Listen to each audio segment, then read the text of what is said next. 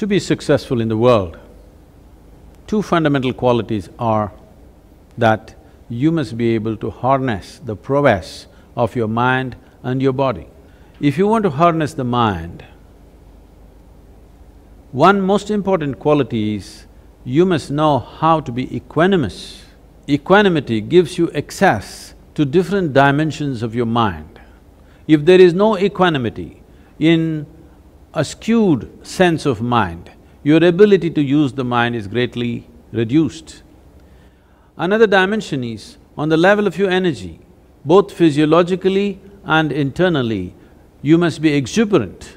Only when your energies are exuberant within you, you have the ability to tide over various obstacles that one may face in day-to-day -day activity towards one's success. If these two dimensions are brought into your mind and your body, that you're equanimous and you're exuberant, success will come to you much more easily. But beyond this, to be successful, one needs insight, inspiration and integrity. Insight means you pay attention to life around you in such a way that you are able to see something that most people cannot see. Another dimension is to be constantly be inspired. So it's very important, the reason why you're doing what you're doing, to look at the larger dimension or the contribution that you're making through your simple act of whatever you may be doing in your life. Every action that every human being performs in their life is a contribution to some dimension of this world somebody is benefited by whatever you may be doing.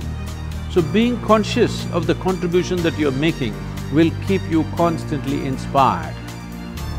And integrity is very important because when you want to function in this world, how much trust you have generated with all the people that you deal with on a daily basis will determine how easy or how hard your daily efforts are going to be. If there is an atmosphere of trustfulness, your ability to work will be greatly, greatly enhanced simply because everybody will pave the way for you rather than setting up impediments for you.